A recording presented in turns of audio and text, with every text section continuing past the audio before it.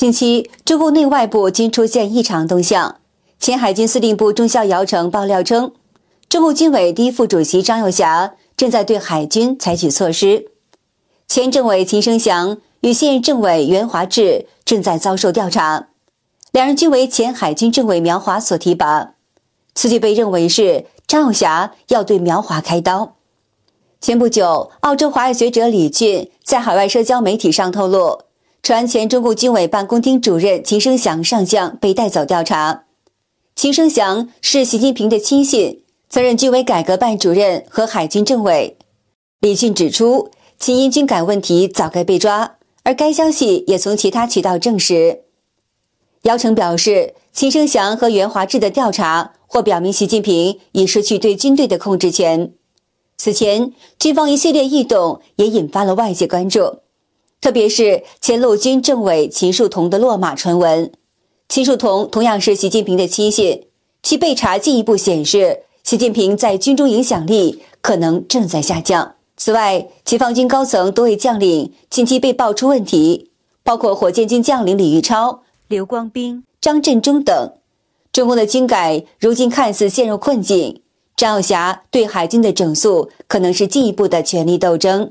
时政评论员分析。张晓霞作为太子党成员，根基深厚，近期又与习近平阵营的矛盾加剧。如果张正式倒戈反袭，这将对习近平造成严重威胁。与此同时，近日中共反腐高官落马频创纪录。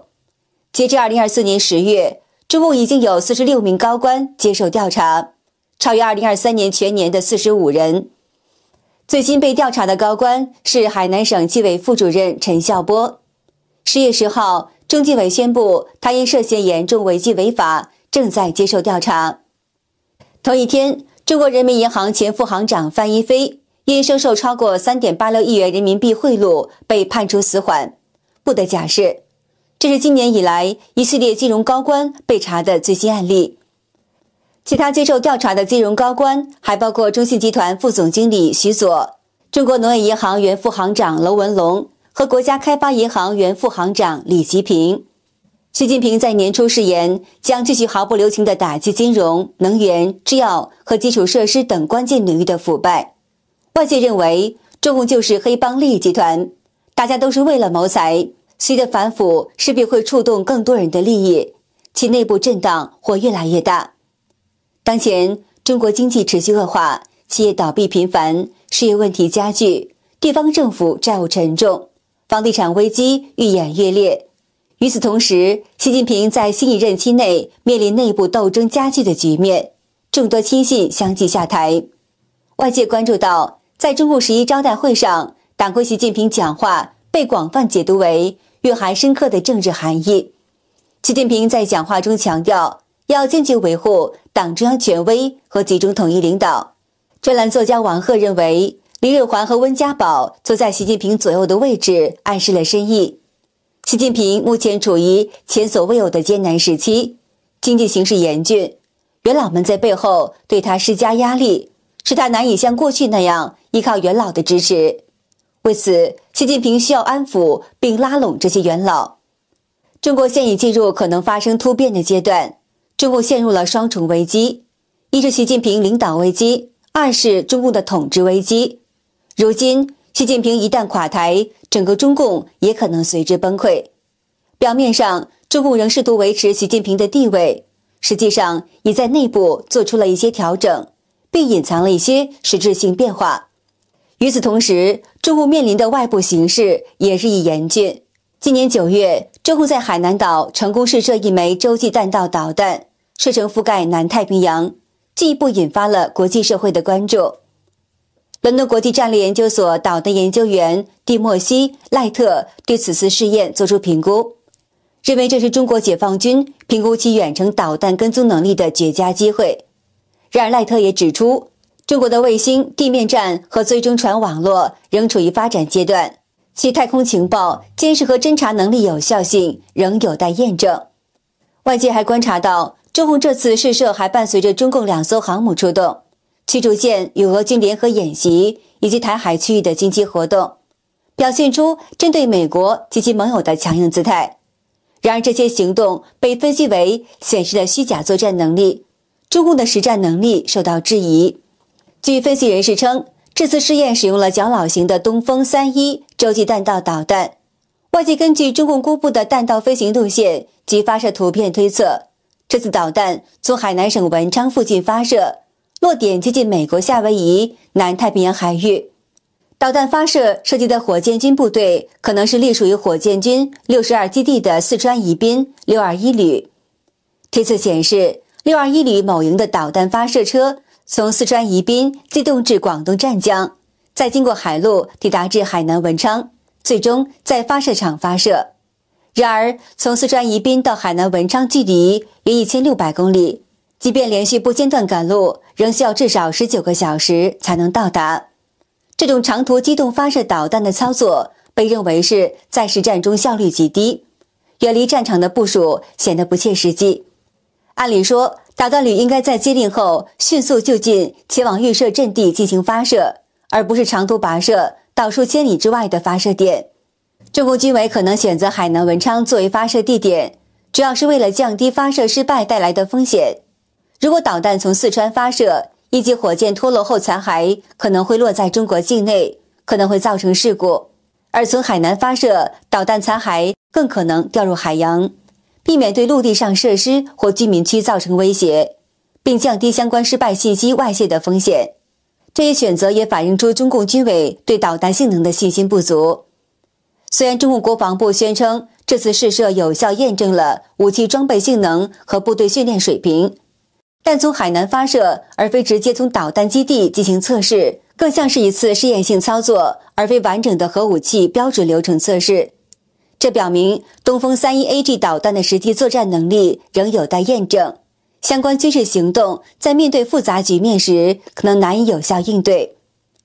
外交层面上，中共这次试射引发了地区关注。日本与菲律宾收到导弹试射可能导致海上垃圾掉落的通知。但一些太平洋岛国，尤其是靠近着陆区的国家，如基里巴斯，并未事先获得任何通报。基里巴斯总统对此提出批评，称其国家没有提前收到任何的通知。中共对外扩张的野心展现还不止于此。在十月十号，中共外交部宣布对三家美国军工企业及十一名高管实施制裁，虽然是针对美国上个月向台湾提供的五点六七亿美元军事援助。这次受制裁的三家美国军工企业是边缘自治运营公司、亨廷顿英格尔斯工业公司和斯凯迪奥公司。制裁还涉及这三家公司的十名高管。此类制裁表明，北京不仅在军事上展示实力，也在外交层面上采取更为强制的反制措施，以应对美台军事合作带来的挑战。最近导弹试射和制裁行动反映出中共对美国加强对台军售的强烈反应。北京长期以来警告美国，任何对台军售都会引发严重后果，而这次军事援助显然触动了中共的核心利益。中国外交部的制裁措施包括冻结这些企业和个人在中国的财产，禁止中国境内组织与个人与他们进行交易或合作，并禁止他们入境中国，包括香港与澳门。自习近平上台以来，中共对台湾问题的立场日渐强硬。特别是随着中国军力的发展，武统台湾的声调不断的升高，解放军加强对台军事准备的速度也在加快，促使台湾寻求更多的军事防御支持。美国对台军售规模与频率也因此有所增加。拜登在九月三十号批准了最新一次对台军援，规模近六亿美元，这笔军援通过美国国防部直接划拨。这次快速的军援交付，表明美方对台防卫的重要承诺。另外，中共对台商的管制也在不断加强。有消息指出，目前有四名台湾籍富士康高管因涉嫌非公收贿，在中国郑州被中共公安拘留，至今无法返回台湾。台湾陆委会对此表示质疑，指出此案怪异，而且可能涉及地方公安的腐败与滥用职权。根据台湾陆委会的声明。这四名高管在郑州被拘留。郑州是富士康的主要生产基地，运营全球最大的 iPhone 组装厂。陆委会也用红海科技集团说法，表示这些员工并未损害公司利益，公司也未向公安报案。因此这些指控显得不合理。陆委会呼吁中共尽快展开调查，解决此案，并且指出这类事件严重打击了企业的信心。根据报道，有知情人士透露，当地人士可能与公安联手栽赃这些高管，以谋取私利。近年来，多名在华外企高管被中共当局拘留，引发跨国企业对员工安全的担忧。